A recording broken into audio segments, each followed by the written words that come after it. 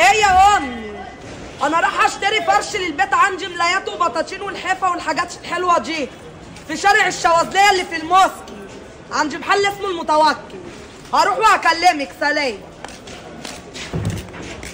سلام عليكم. وعليكم السلام ورحمة الله وبركاته. عامل إيه؟ والله الحمد لله نورتينا ام يا رب يخليك. الحمد لله. بقول لك إيه؟ إيه؟ أنا جاية لك بقى تروق عليا في والله. عايزة بقى الحافه وبطاطين وحاجات الجميلة اللي. عندكم دي. نورتيني والله. تعالى يلا وريني.